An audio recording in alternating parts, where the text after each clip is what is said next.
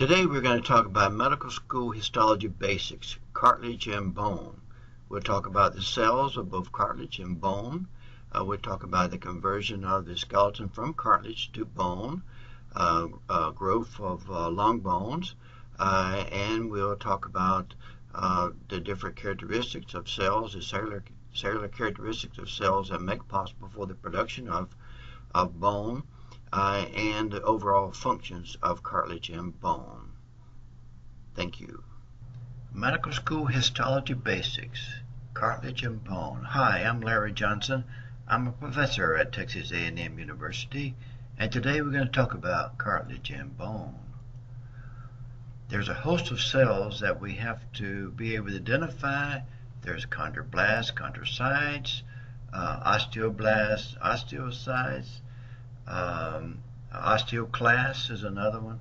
So there's a host of different cells that we have to do spongy bone or compact bone, cartilage, perichondrium, muscle. There are various things that we'll have to uh, to talk about today. Uh, but what is the function of cartilage of bone? Uh, in terms of evolutionary and embryology model of bones, here you can see that before we had bones, we have cartilage as our connective tissue uh, support.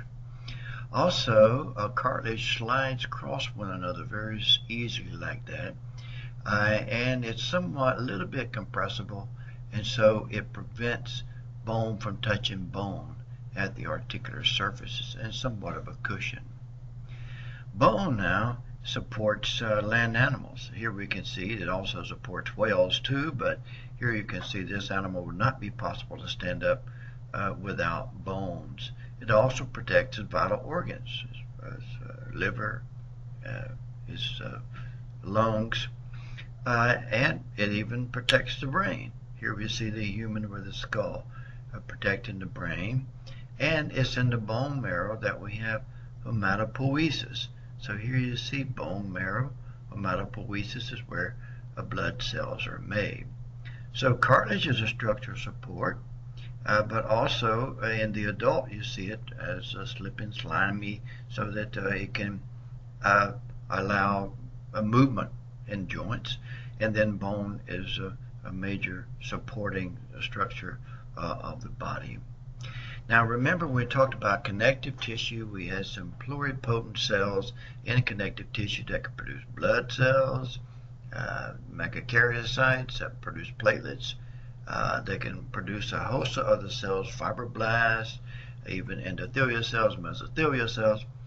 Uh, but also it produces osteoclasts, which is from the, the monocyte macrophage series that eats up bone. Uh, and it has osteoblasts, which lays down bone. And whenever an osteoblast gets trapped in this little space, it becomes an osteocyte. And in cartilage, we have chondroblasts, which get trapped in this lacunae or space, uh, and it becomes a chondrocyte. So there's five different cells here of the connective tissue that we can see. Now, if we start with cartilage, cartilage uh, is, is composed of three different types. Hyaline cartilage is what you see at the end of a chicken bone, the white, glassy looking material. Uh, and that's what at the articular surfaces where one joint, one bone is touching another one at the joint. And it's not touching because of the cartilage in between. And then we have elastic cartilage, and we have that in the ear. And the function of elastic cartilage is re return to the original shape. You can fold up your ear and it will pop right back because of elastic cartilage. Uh, and then we have fibrocartilage. Fibrocartilage uh, is uh, interesting because it connects uh, tendons or ligaments to bones. And to where we can see, normally this would be like a ligament with all the connective tissue that we see here, the type 1 collagen but located right in there are the chondrocytes, as you can see. So here's a chondrocyte, which is lo located in this lacunae, and lacunae is equal space. So that's the space where the cell has laid down extracellular matrix around it. So uh, if we take a look at uh, a joint, this is a joint of fetal elbow, uh, and we can see uh, the capsule around the cartilage, the perichondrium, And then we can see there's a host of cells, there's blue cells here, this hyaline cartilage, uh, and um, right at the growth plate, right in through there, the cartilage is changing to bone, is transformed to bone, and we'll talk about that. So here we can see that we have the hyaline cartilage, and this is going to be the hyaline cartilage uh, are the articular surfaces, and you see the synovial membrane that goes around it, so it allows this bone to move in relation to this bone. And we have dense irregular connective tissue uh, in the periosteum or the perichondrium, and there's a bone matrix. Now, in terms of, of uh, cartilage changing to bone at the growth plate that we see here and here, and actually uh, even uh, uh, whenever you go from a cartilage model to a bone model, you have area of reserve cartilage, and then we have proliferation where you see them all lined up there. And then you have hypertrophy where they increase in size, increased number here, increased size, and then they become calcified. When it does, the extracellular matrix is no longer diffusible. Uh, nutrients can can diffuse through cartilage, but it cannot go through bone because of the calcification. And that kills these cells here in the osteoclast. Uh, the macrophage-like cell moves in and eats that up uh, and is replaced by bone. And we'll talk about that later on at the epiphyseal plate. Here we see hyaline cartilage. Uh, here it is here, perichondrium on the side, and we can see uh, a characteristic of hyaline cartilage is this isogenic groups. So a group, they have interstitial growth, so one cell divides to produce other cells, uh, and a whole group of cells is group is developed from a single cell and that makes an isogenic group uh, that we have. This is uh, epithelium on the surface of the trachea that we see right in through there. That would be uh, respiratory epithelium. And then we have dense irregular connective tissue here on either side of the perichondrium. If we look at the uh, ear, uh, this is the outer ear. Uh, and we can see epithelium here, uh, there's epithelium there, so we've got skin on both sides uh, of the ear. But if you look at the elastic cartilage, it looks like hyaline cartilage. The isogenic groups are not as big, uh, but you have elastic fibers in between, and that's what we see, the elastic fibers for the elastic um, collagen. And here we can see this is a pin of the ear of a cat, and you can see uh, the, the blue here is the elastic fibers that you can see there. So these are the chondrocytes, that are trapped in the lacunae or space, and this is a chondroblast. So right at the edge of uh, the perichondrium uh, and the cartilage is where you have uh, the chondroblast, which grow by appositional growth. These guys differentiate into cartilage cells. But of course, you have dense irregular connective tissue in the capsule itself. Now, fibrocartilage is different uh, in that uh, is between two different uh, types, of between a tendon, ligament, and bone. And so here we can see the fibroblasts of the tendon or ligament, and these are big bundles of, of collagen, type 1 collagen that you see in through there. But right at the transition between this and bone, this is bone down here, you have these um, these chondrocytes that are located in here and they like differentiated from some of these fibroblast, fibroblastic-like cells uh, and they actually uh, produce type 2 collagen which you see a little bit darker right in through there type 1 there type 2 here uh, and so these are our chondrocytes um, trapped in their lacunae uh, and, and uh, uh, in the fibrocartilage and there's no perichondrium. There's no perichondrium around it because they're already embedded in, in dense irregular connective tissue of the tendon or the ligament. So if we look at in the fetal elbow again, we look right here at the attachment. Uh, we can see lots of bundles of collagen uh, in through there, and then we can see these little cells all stacked up like this, each one of them in their little lacunae, and those are the chondrocytes of the fibrocartilage. You can see them here, there, there, all in through here, and this is type 1 collagen uh, that would be part of the tendon or ligament. And also you can see skeletal muscle. So this is skeletal muscle uh, that uh, is where the muscle is going to be attached to the tendon uh, uh, eventually uh, so that the muscle, skeletal muscle would regulate location of the bone. You would see this in a, in a cat. we can see our model again, so these would be like a tendon in through there, and you can see the fibroblast here, fibroblast there, and then you can see the chondrocytes and the fibrocartilage. There's some right here, and you can see them in their lacunae right in through there. So you can see, and that's located right in this location right There's bone, uh, and this uh, uh, cartilage attachment is right in, right in through there where uh, the the bone is attaching to uh, to the tendon. So uh, we can see the articular surfaces, that is where one bone touches another bone, uh, and you can see there's a capsule around it. Um, and hyaline cartilage uh, has a perichondrium except at the articular surfaces, and the articular surfaces of perichondrium will be worn off. Uh, that we can see through there. Articular is where one touched the other. Here we see a tibia, a fetal tibia, and you can see in this uh, region in through there where the cartilage is very active, surrounded by the perichondrium, and there's a, a, lot of activity here where you have a transformation uh, of the fibroblast-like cells to uh, to uh, the cartilage cell, and this is uh, appositional growth, namely growth from uh, from the side.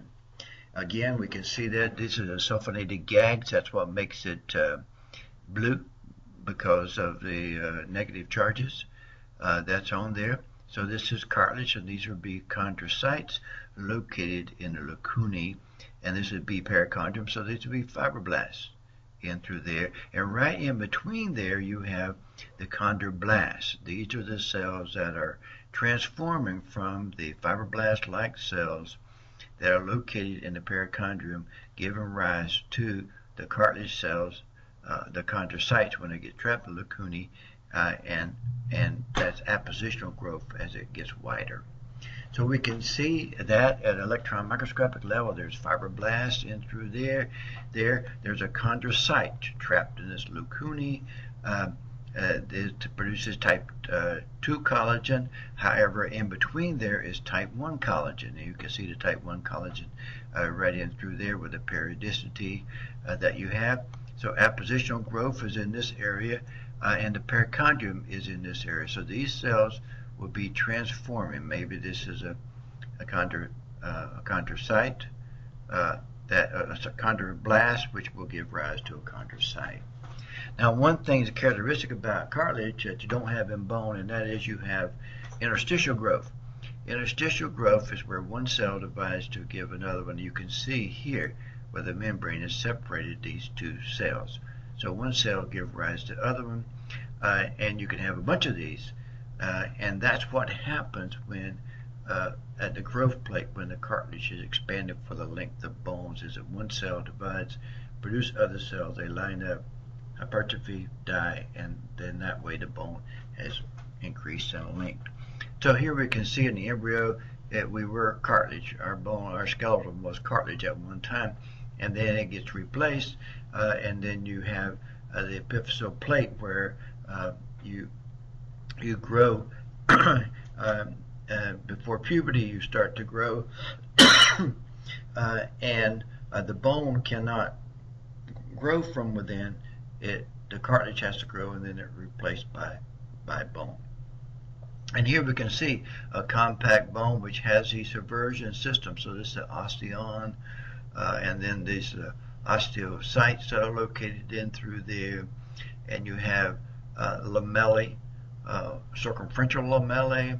So this is the endosteum, periosteum that we have with the bone. So here's the cartilage at the end, and then um, you have primary spongiosa.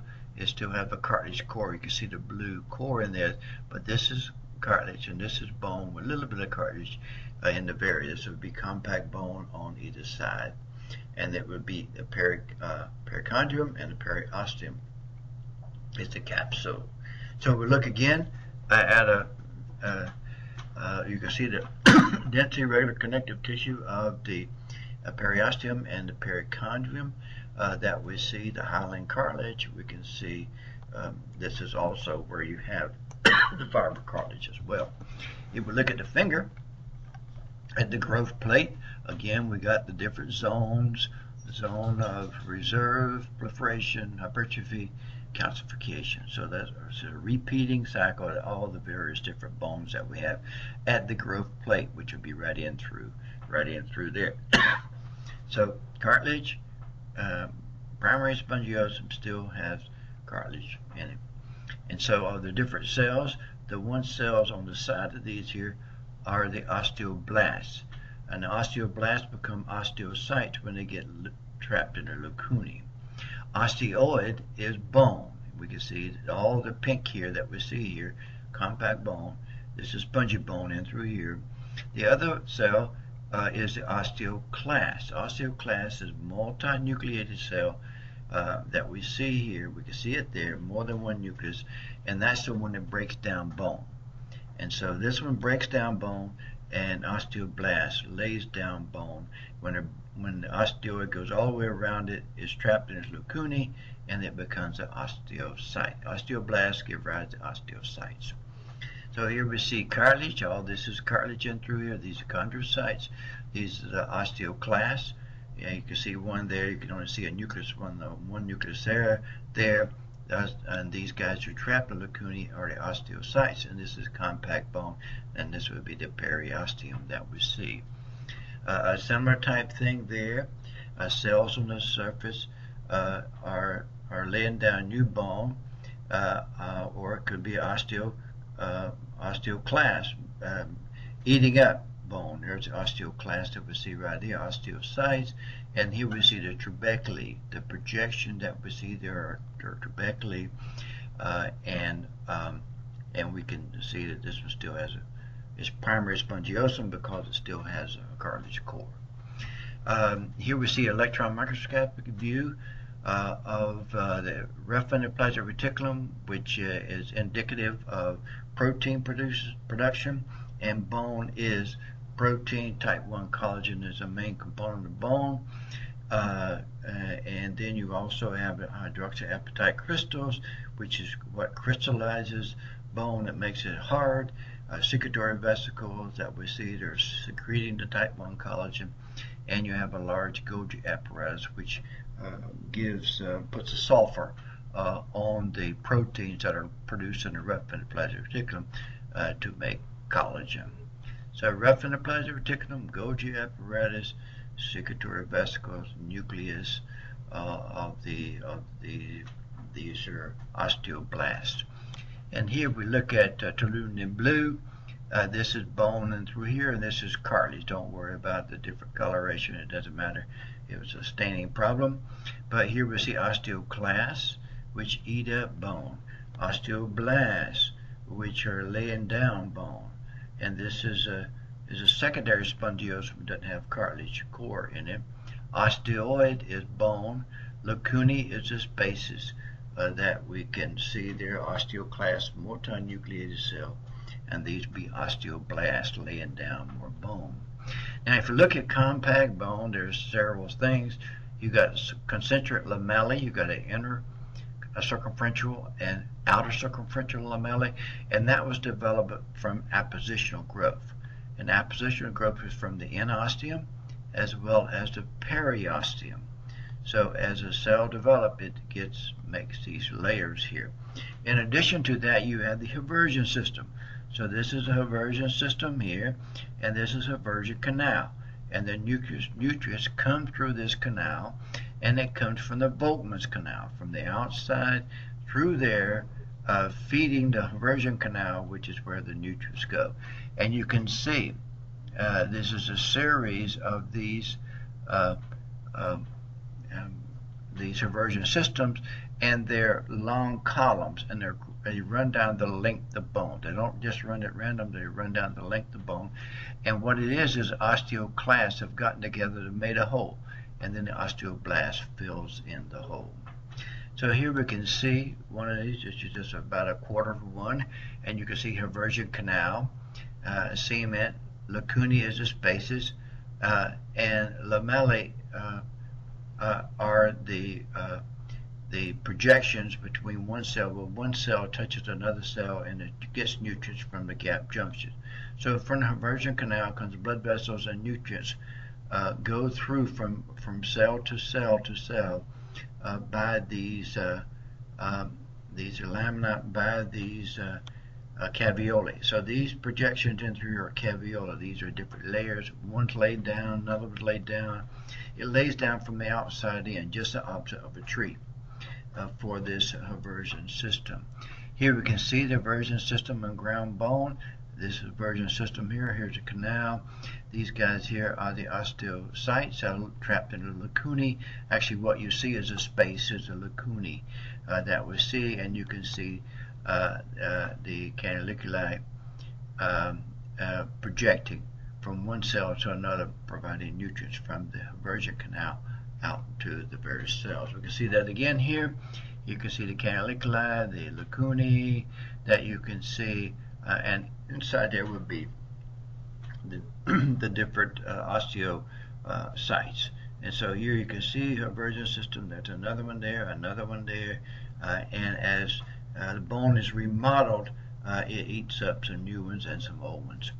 Here again, we can see uh, this is the uh, inner circumferential lamellae that you see there, and then we can see another Haversian system.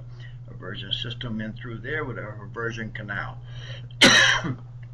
so inside compact bone would be spongy bone. So this guy, stuff right here would be uh, spongy, spongy bone.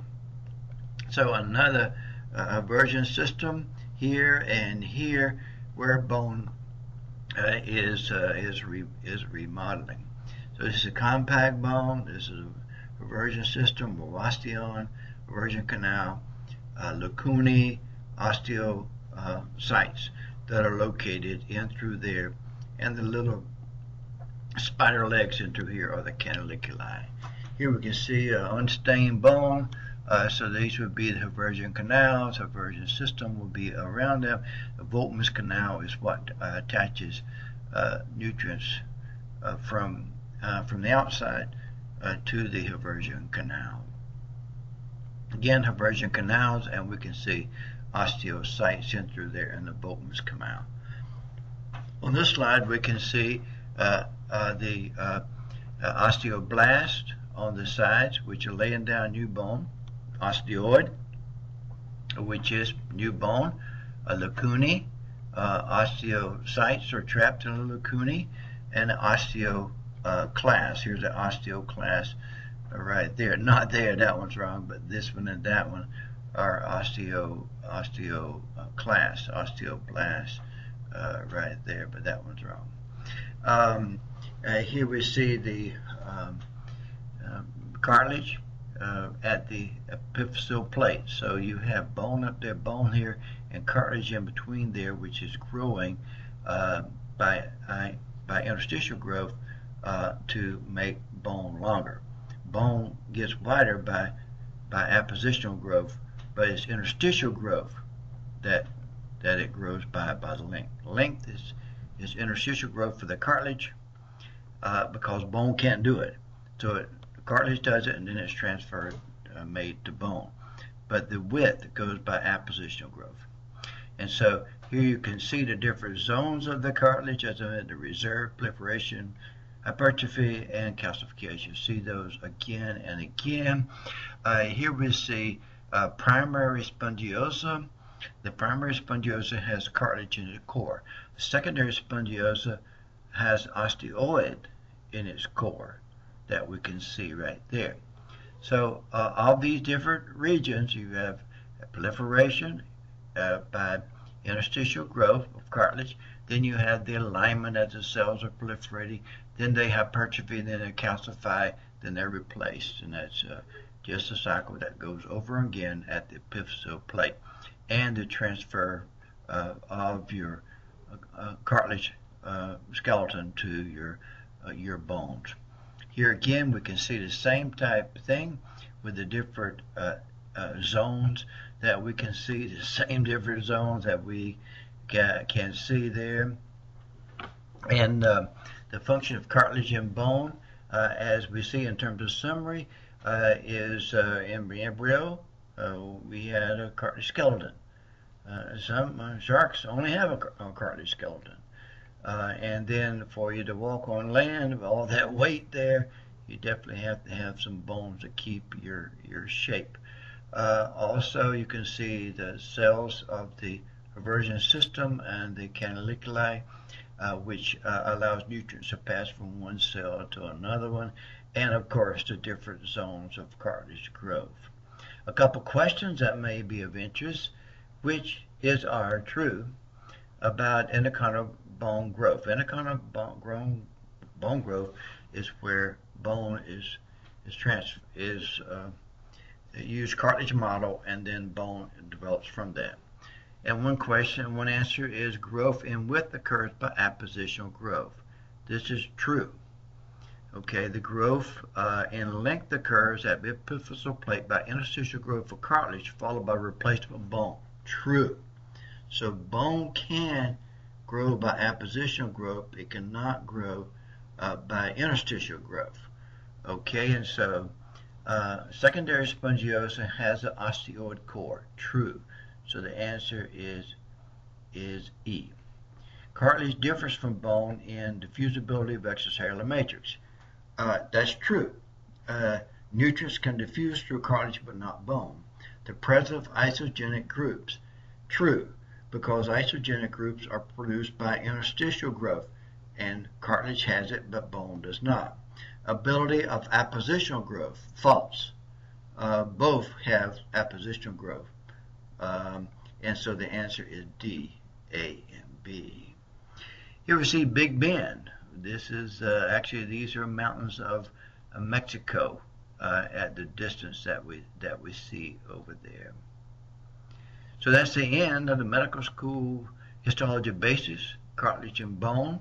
If this information was useful to you, please share it with your friends uh, and your colleagues, and maybe consider um, uh, subscribing to the VIBS Histology YouTube site. Thank you.